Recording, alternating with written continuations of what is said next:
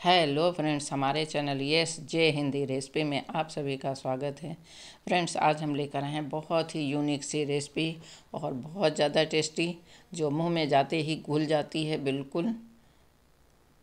तो फ्रेंड्स, चलो video start करते हैं। उसके पहले अगर हमारा आज का वीडियो थोड़ा सा भी अच्छा लगे आप लोगों को तो लाइक और शेयर सब्सक्राइब करना बिल्कुल मत भूलना।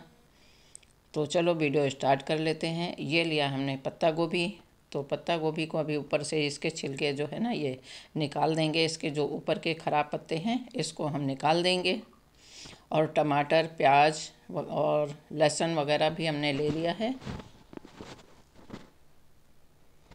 तो पत्ता गोभी का जो ऊपर वाला हिस्सा होता है ना, वो हमने निकाल दिया है। थोड़ा सा गंदा सा लग रहा था, उसको निकाल दिया है। और इसका जो डंठल है ना, इसको भी काट देंगे।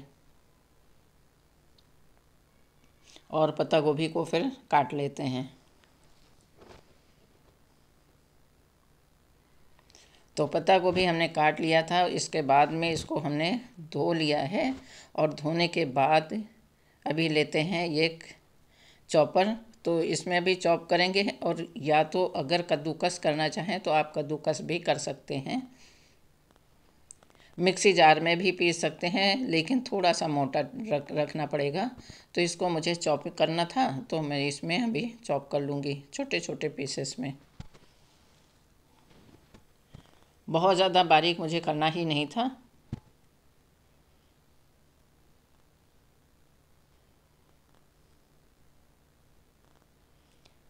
तो ये कुछ इस तरह से हमारा जो पत्ता गोभी है ना, इस तरह से चॉप हुआ है, इतना बारीक है।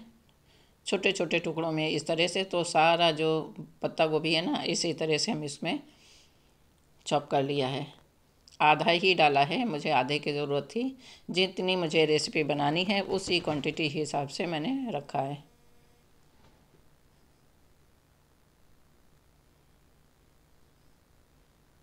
तो ये इस तरह से हमारा चॉप होके तैयार हुआ है। अभी इसमें मिला देंगे थोड़ा सा नमक और नमक मिला के इसमें ना मॉइस्चर तो वैसे भी पानी इसमें बहुत ज़्यादा होता है और नमक मिला देंगे तो थोड़ा सा और भी और जो अगर इसमें कुछ थोड़ा सा रहता है ना कि डर रहता है कीड़े वगैरह का तो वो भी नहीं रहते हैं। तो ये साइड में रख दिया है। जब तक इतनी देर में हम प्याज और लहसुन ये भी छील लेंगे। तो दो प्याज लिया है, दो टमाटर हमने लिया है। और दो ही हरी मिर्च लिया है। थोड़ा सा लहसुन, थोड़ी सी अदरक। तो प्याज छील लेते हैं, अदरक, लहसुन भी छील लेते हैं। तो प्याज, लहसुन वगैरह हमारा छिल गया था, इनको भी मैंने धो लिया है और मोटे मोटे पीसेस में इसमें मिक्सी जार में डालेंगे और पीसेंगे इसको।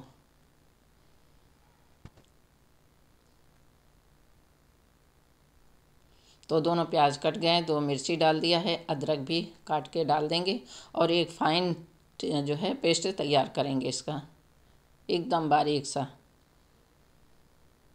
तो ये लहसुन भी हमने डाल दिया इसमें और इसमें डाल देते हैं थोड़ा सा काली मिर्च, चार पाँच काली मिर्च, दो लौंग और थोड़ा सा जावित्री का टुकड़ा डाल देंगे। और बस दो बूंद पानी डाल के इसको हम ग्राइंड कर लेंगे। तो हम मुझे एकदम फाइन चाहिए था ना, बहुत बारीक वाला। तो इस तरह से हमारा प्याज हो गया है तैयार। ये हमने पीस लिया है और इसको निकाल लेते हैं, फिर टमाटर को भी पीस लेते हैं।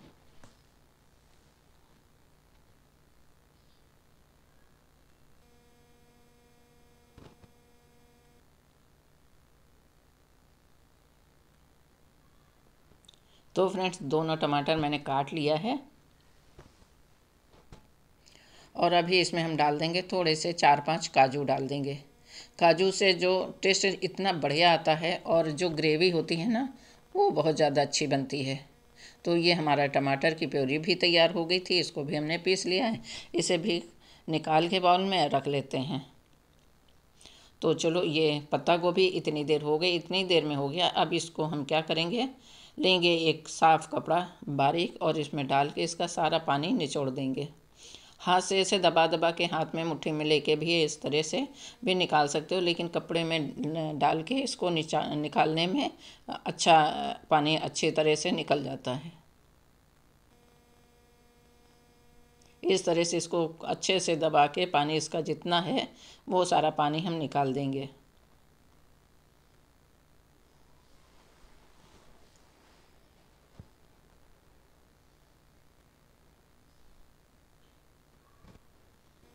तो इतना ज़्यादा पानी निकल गया था, कितना मॉइस्चर होता है इसमें तो इस पानी को हमने साइड में रख दिया है और ले लेते हैं एक थाली। थाली में अभी डाल लेंगे बस ये, पत्ता गोभी।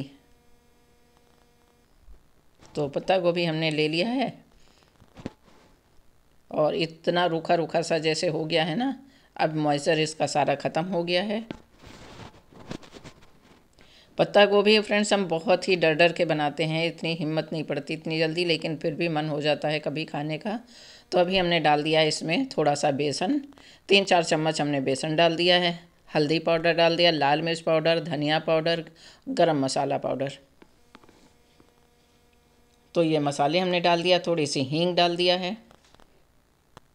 और नमक डाल देंगे, टेस्ट अनुसार नमक भी हम डाल देंगे इसमें।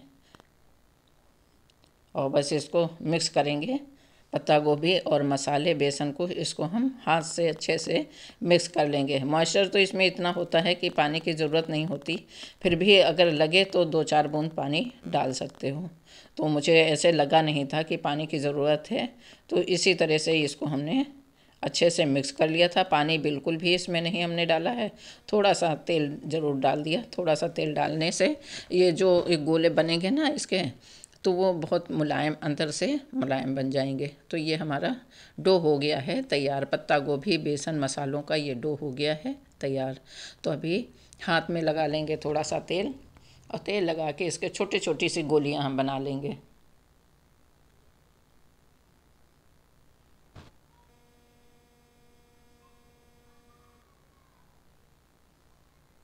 तो इस तरह से है। अभी गोलियाँ सारी हम बना लेंगे।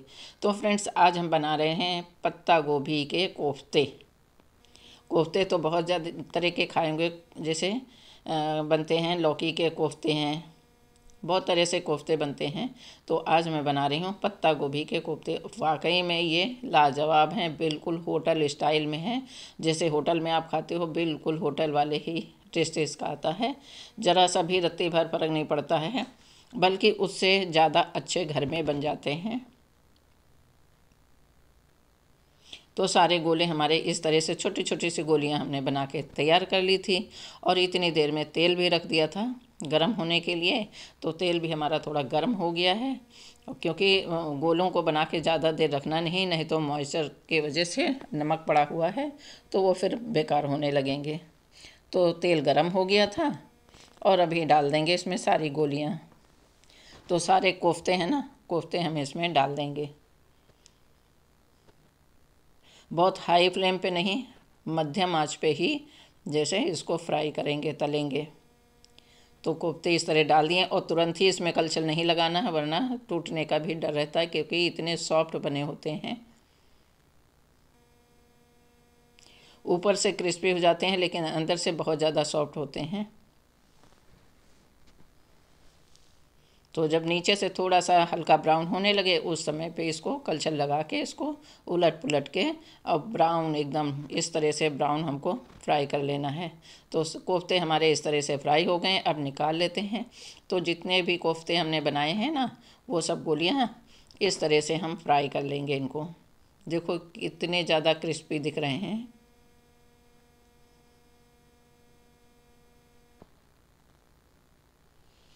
फ्रेंड्स ये तो हम इसका दावा ज़रूर करते हैं कि ये जब भी बनाएँगे तो होटल का खाना तो आप भूल ही जाएँगे। ये मेरी गारंटी है कि होटल की आपको बिल्कुल भी ये नहीं लगेगा कि ये होटल का नहीं है। बस बस जिस तरह से मैंने बनाया, मेरी तरह से आप बनाइएगा, देखिएगा, बहुत ज़्यादा टेस्टी बनेगा। और अगर अच्छा लगे तो कमेंट करके ज़रूर बताना। एक बार ट्राई ज़रूर करना। तो इस तरह से हम सारे कोफ्ते फ्राई कर लेंगे।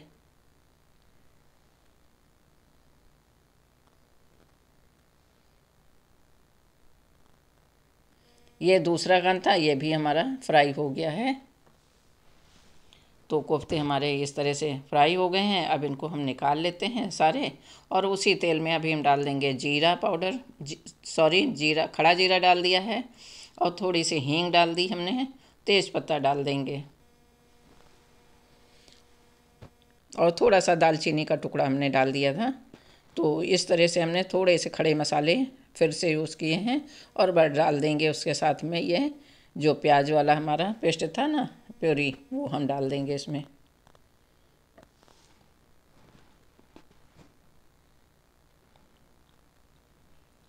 तो प्याज पकने तक इसको थोड़ा सा जल्दी जल्दी चलाते हुए इसको पकाएँगे। तो प्याज हमारा देखो अच्छा सा कलर छोड़ने भी लगा है और तेल भी अलग होने लगा है। तो अभी हम डालेंगे इसमें मसाले। जो बेसिक मसाले हैं, बस वही हल्दी पाउडर, धनिया पाउडर, गरम मसाला।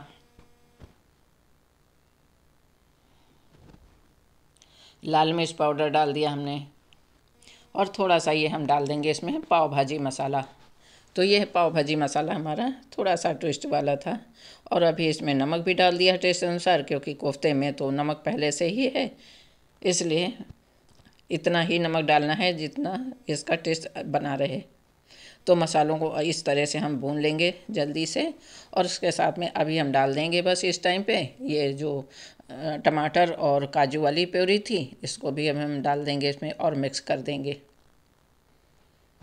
तो मसालों को इस तरह से हमको जल्दी जल्दी चला के मिक्स करना है।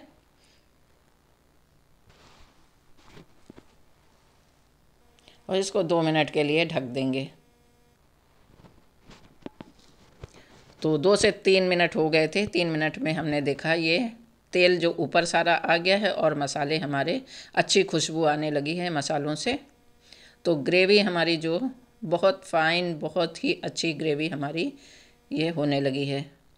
तो इसको थोड़ा सा और चलाएँगे क्योंकि मसालों को जितना ज़्यादा हम भूनेंगे, जिस धीमी धीमी आँच पे ही भूनना है, बहुत मत, एकदम लो फ्लेम पे ही भूनना है, जितना भूनेंगे मसालों का टेस्ट उतना ही अच्छा आएगा।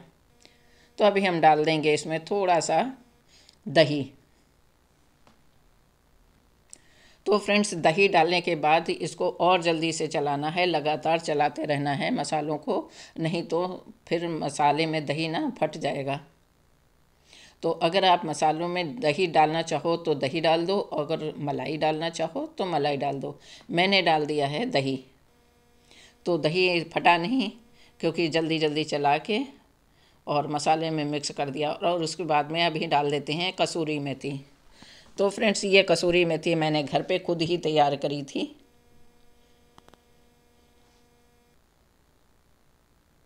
और कसूरी मेथी जब पड़ जाती तो स्वाद तो बहुत ज़्यादा गजब का आता है तो खुशबू इतनी अच्छी आ रही है। मसालों से खुशबू बहुत अच्छी आने लगी है। मसाले हमारे अच्छे से पक गए हैं। तो अभी इसी टाइम पे अब हम इसमें पानी डाल देंगे।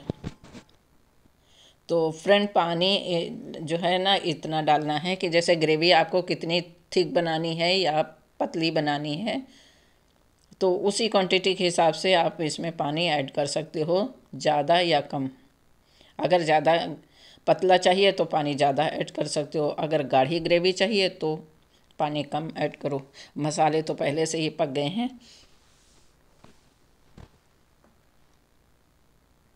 तो पानी इसको पकने तक हम थोड़ा सा पकाएँगे। बस एक दो उबाल आएगा, उसके बाद पक जाएँगे। और ये इस तरह से हमारे कोफ्ते तैयार हुए थे। क्या गज़ब के लग रहे हैं, गोल गोल से। तो ये इस तरह से हमारा थोड़ा सा पानी पक गया था। तीन चार मिनट में उबाल आने लगा था। पानी इसका पक गया है मसालों का। अभी हम इसी टाइम पे डाल देंगे कोफ्ते। तो सारे कोफ्ते हम इस तरह से डाल देंगे। ग्रेवी में कोफ्ते, बस दो मिनट के लिए ही हम इसको और पकाएँगे, क्योंकि पहले से ही पके हुए हैं, ज़्यादा इनको नहीं पकाना है। और बस अब डाल देंगे धनिया पत्ती। तो हमारे कोफ्ते हो गए, पत्ता गोभी के कोफ्ते हो गए हैं तैयार।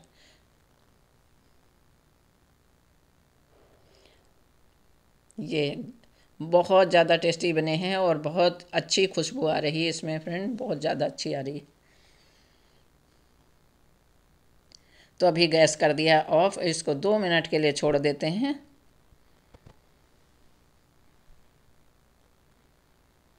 तो दो मिनट हो गए थे और अच्छे से ग्रेवी में कोफ्ते मिल गए हैं। तो चलो, बस सर्व के लिए निकाल लेते हैं। तो ये इस तरह से हमारे पत्ता गोभी के टेस्टी, लाजवाब कोफ्ते तैयार हो गए हैं। तो फ्रेंड्स मिलेंगे एक नई रेसिपी के साथ। तब तक के लिए थैंक यू बाय इंजॉय करिए मेरे पत्ता गोभी के रेसिपी और बना के मुझे कमेंट ज़रूर करिएगा।